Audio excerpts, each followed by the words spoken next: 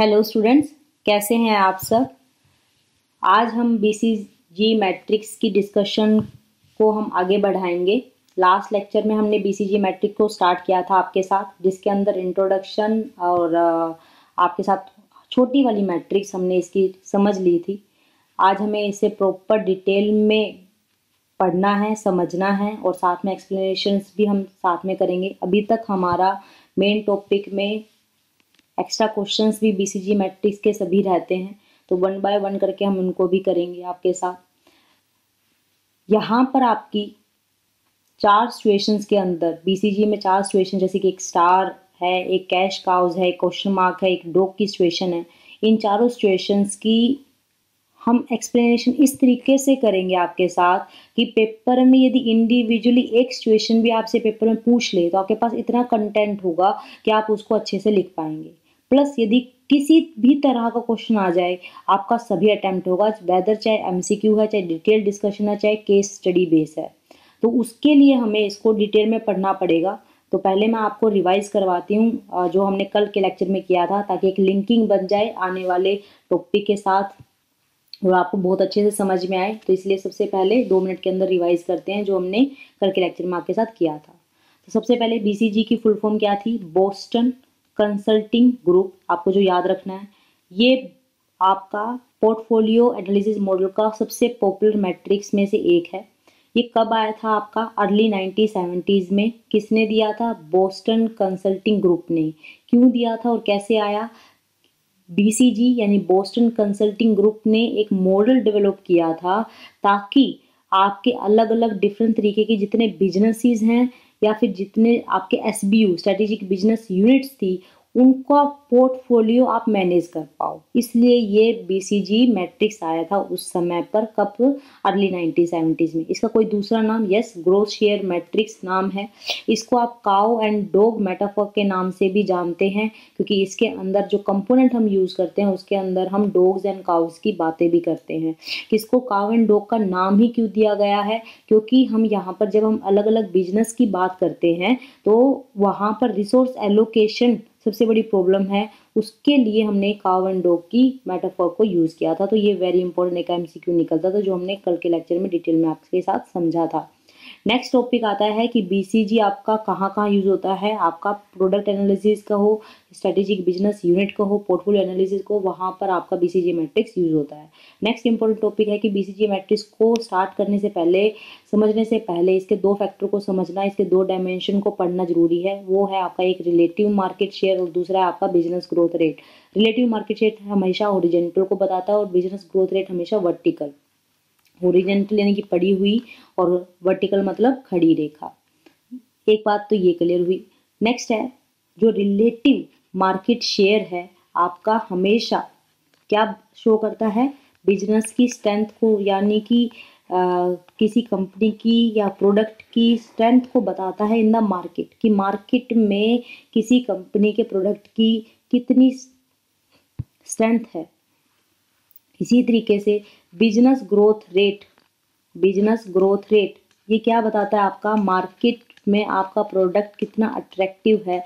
Market को आप कितना अट्रैक्ट कर पा रहे हो? ये बताता है आपका बिज़नेस ग्रोथ रेट बहुत इंपॉर्टेंट है। यदि आपने इन दोनों टॉपिक को समझ लिया तो डेफिनेशन तो आपको हर कंपोनेंट की क्लियर होगी ही। साथ में आपके जितने मैं बुलेट पॉइंट आगे करवाऊँगी आपको एक्सप्लेनेशन के अंदर, उनकी लिंकिंग भी इन दो पॉइंटों के साथ रहेगी।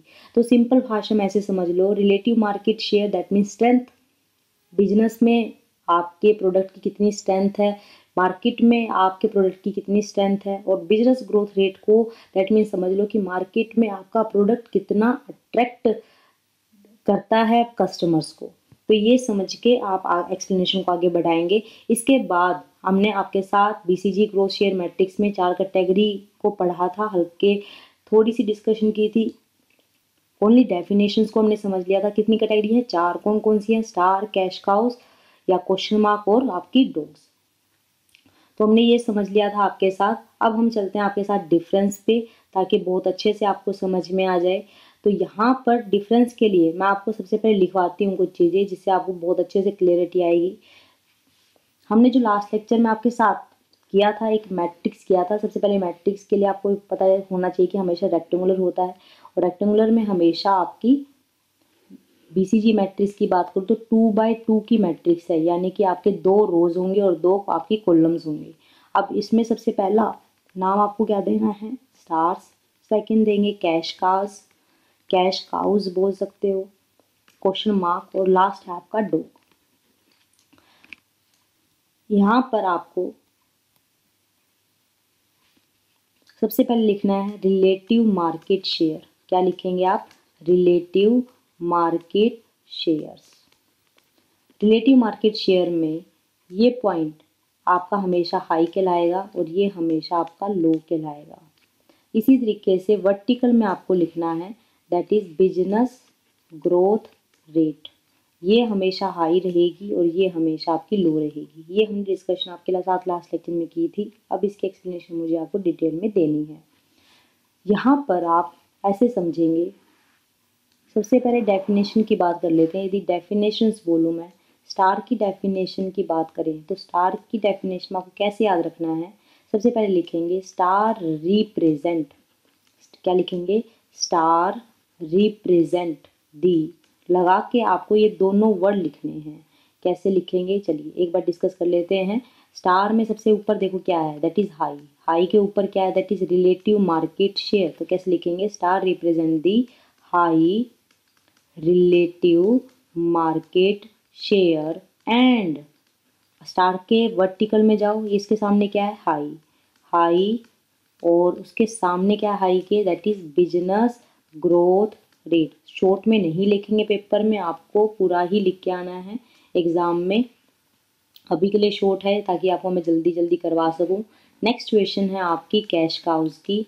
तो कैश काउज में कैसे लिखोगे? बिल्कुल सेम डेफिनेशन में कैश काउज रिप्रेजेंट दी क्या है कैश काउ के ऊपर? देखो सबसे पहले होरिजेंटल में high relative market share and क्या है? Low business growth rate next है आपकी क्वेश्चन मार्क की सिचुएशन क्वेश्चन मार्क की सिचुएशन में कैसे लिखेंगे? क्वेश्चन मार्क रिप्रेजेंट दी ऊपर देखें that is low relative market share and high business growth rate और लास्ट है आपका डॉग की सिचुएशन तो डॉग में डेफिनेशन कैसे बनाएँगे? दोनों ही लो हैं. तो low relative market share and low business growth rate तो ये आपकी हुई पहली डिस्कशन दैट इज़ डेफिनेशन की। चलिए सेकंड पॉइंट पे चलते हैं। अब से जितने भी पॉइंट आपके पास आएँगे, उनकी लिंकिंग हमेशा रिलेटिव मार्केट शेयर और बिज़नेस ग्रोथ रेट से ही रहेगी। तो यानी समझने के लिए आपको इन ही टॉपिक को लेना होगा, आपको जल्दी समझ में आएगा। तो सेकंड टॉपिक है दैट इज़ अर्निंग तो अर्निंग में कैसे लोगे आप? पहले स्टार की बात कर लेते हो। स्टार में क्या है? दोनों ही हाई है। यानी कि रिलेटिव मार्केट शेयर भी हाई है और बिज़नेस ग्रोथ रेट भी हाई है। बिज़नेस में शेयर जो आपका प्रोडक्ट का है वो ज़्यादा है और ग्रोथ की एक्सपेक्टेशन भी बहुत ज़्यादा है।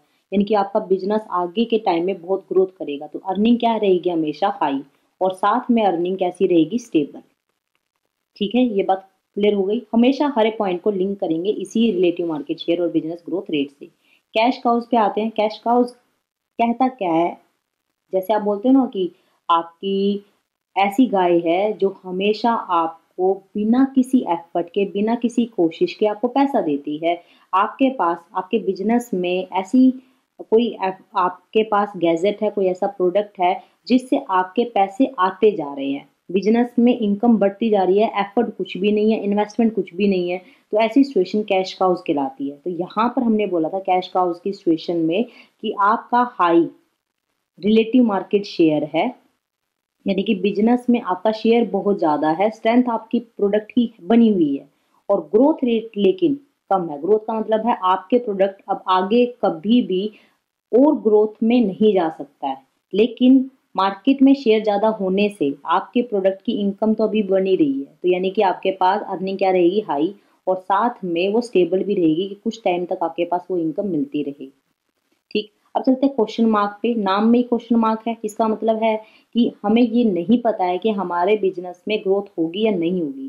क्वेश्चन मार्क का मतलब क्या है? यदि सिचुएशन देखे तो आप कहते हो कि लो, आपकी रिलेटिव मार्केट शेयर है और हाई बिज़नेस ग्रोथ रेट है। शेयर नहीं है आपके बिज़नेस का, आपके बिज़नेस के प्रोडक्ट का मार्केट में शेयर बिल्कुल नहीं है, कम है।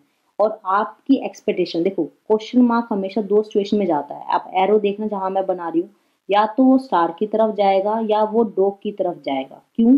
देखो, यदि बिज़नेस में आने वाले समय में यदि ग्रोथ रेट ज़्यादा हो गई, ध्यान से सुनो, बहुत इंपॉर्टेंट कंसेप्ट बता रही हूँ। क्वेश्चन मार्क की सिचुएशन से यदि बिज़नेस में ग्रोथ रेट आपकी हाई है तो फोर श्योर है कि वो स्टार की तरफ़ जाएगा।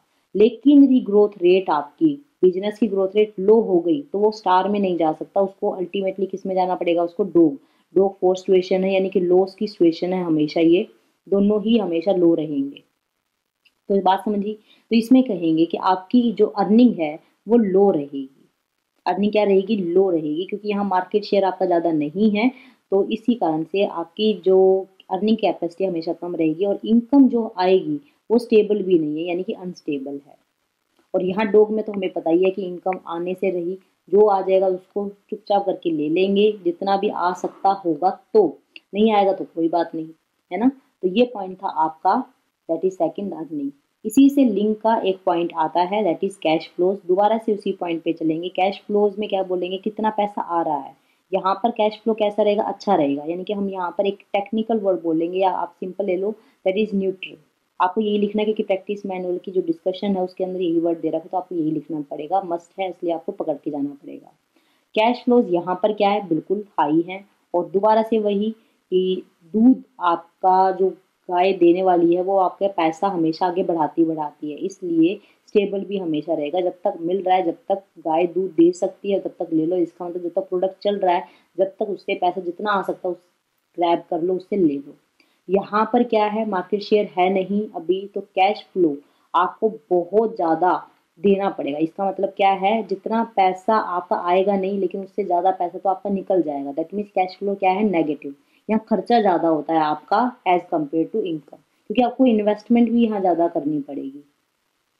यहाँ पर कैसे रहेगा? यहाँ भी नेगेटिव है, यहाँ पर भी आपका खर्चा ज़्यादा है और पैसे आपको मिलेंगे नहीं तो कैश फ्लोज आपका यहाँ पर क्या रहेगा? नेगेटिव ठीक है? ये तीन पॉइंट आपने समझ लिए। अब नेक्स्ट पॉइंट करवाती हूँ आपको यहाँ पर मैं स्ट्रैटेजी फोर्थ पॉइंट है, इस टाइप की स्टार की सिचुएशन के अंदर कौन सी स्ट्रैटेजी हम अडोप्ट करते हैं? तो स्ट्रैटेजी यहाँ पर अडोप्ट होगी हमेशा ग्रोथ की। कहते क्यों? क्योंकि आप, मैं कह ही रही हूँ कि यहाँ पर हाई ग्रोथ है। हाई बिज़नेस ग्रोथ है तो व्यक्ति बिज़नेस में ग्रोथ करेगा ही करेगा। ग्रोथ का दूसरा नाम क्या है? एक्सपेंशन स्ट्रेटेजी क्या हम डिटेल में पढ़ेंगे कहीं? यस बिल्कुल पढ़ेंगे। आने वाले चैप्टर्स में हमें इसी की डिस्कशन बहुत ज़्यादा करनी है। तो वहाँ पर हम एक्सपेंशन या ग्रोथ की स्ट्रेटेजी को डिटेल में पढ़ेंगे। यदि मैं अभी आपको थोड़ा सा हल्का समझाऊँ तो इसके अंदर कौन कौन से आते हैं? जैसे इंटेंसिफिकेशन डिवर्जाइफिकेशन इस तरीके के एग्ज़ाम्पल आपको यहाँ पर पढ़ने को मिलते हैं। मर्जर है एक्विजिशन है और डिवर्साइफिकेशन के अंदर भी बहुत सारे एग्ज़ाम्पल आपके। तो ये सब पॉइंट है, यहाँ पर हम पढ़ेंगे।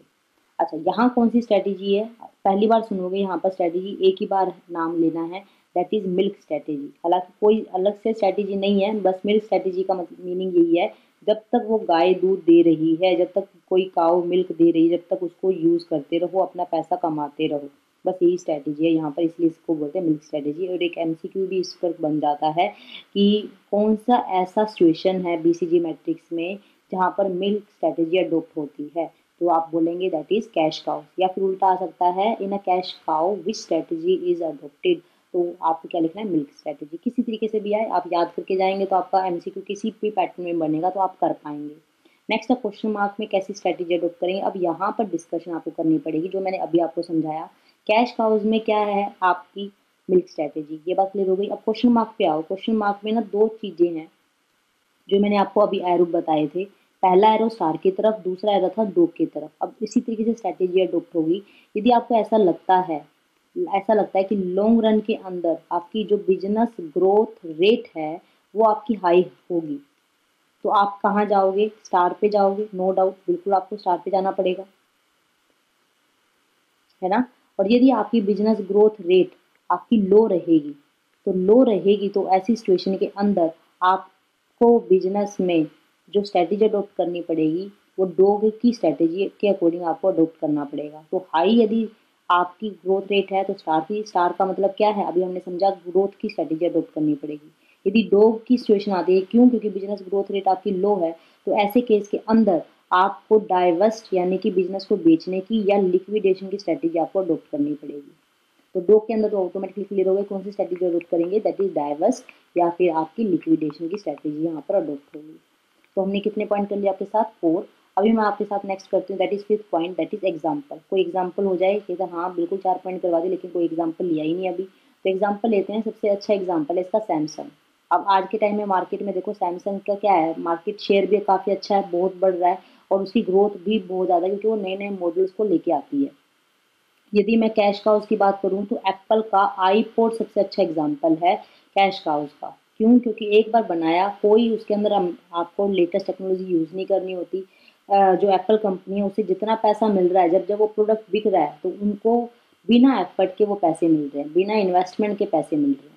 यहाँ भैया आप बात करूँ क्वेश्चन मार्क की सिचुएशन के अंदर कौन सा एग्ज़ाम्पल जैसे वीवो अब वीवो को क्या करना है? एक्सपेंडिचर ज़्यादा करना पड़ेगा इन्वेस्टमेंट पे उन दोनों केस हैं। यदि उनका प्रोडक्ट बढ़ता है ग्रोथ रेट यदि अच्छी हो गई तो वो एक्सपेंशन में चले जाएँगे। और यदि उनकी ग्रोथ रेट नहीं हुई तो उनको बिज़नेस बंद करना पड़ेगा। लेकिन आज की सिचुएशन यदि मैं बात करूँ तो वो ग्रोथ रेट पे ही चल रहे हैं, क्योंकि उन्होंने खर्चा इतना कर दिया एक्सपेंडिचर इन्वेस्टमेंट एडवर्टाइजमेंट पे इतना कर दिया कि उनकी ग्रोथ रेट ऑटोमेटिकली आने लगी है। यदि यहाँ की एग्ज़ाम्पल दूँ तो विंडोज़ प्लेयर जो आपको आज के टाइम में मार्केट से बिल्कुल ही आपको खत्म दिखेंगे। तो विंडोज़ प्लेयर आपका इसका अच्छा एग्ज़ाम्पल रहेगा, इसका आपका डोक की। सिचुएशन का तो ये था फिफ्थ पॉइंट एक और कुछ कर सकते हैं क्या? हाँ बिल्कुल कर सकते हैं। चलो सिक्स पॉइंट की बात करती हूँ। क्या इन्वेस्टमेंट कितनी चाहिए आपको यहाँ पर? इन्वेस्टमेंट कितनी चाहिए? तो यहाँ पर आपको हाई इन्वेस्टमेंट चाहिएगी। नो डाउट कि ग्रोथ करना है तो इन्वेस्टमेंट तो चाहिएगी। कैश काउज में नो इन्वेस्टमेंट या फिर लो इन्वेस्टमेंट ना के बराबर चाहिए, बिल्कुल।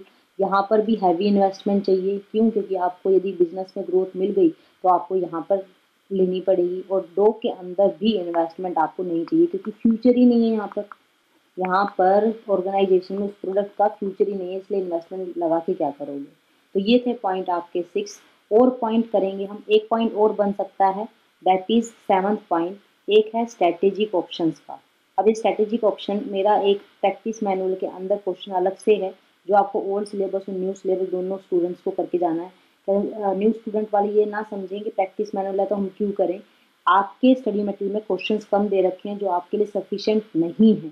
यदि पेपर में आपको करके जाने हैं तो जो ओल्ड सिलेबस का प्रैक्टिस मैनुअल है, वो भी आपको कवर करके जाना पड़ेगा बाय हुक और बाय ग्रुप आप कैसे ही करके जाओ, आपको मैं कोशिश करवा रही हूँ कि आपका सारा प्रैक्टिस मैनुअल के सारे क्वेश्चन आपको इन्हीं लेक्चर्स में मिल जाएँ।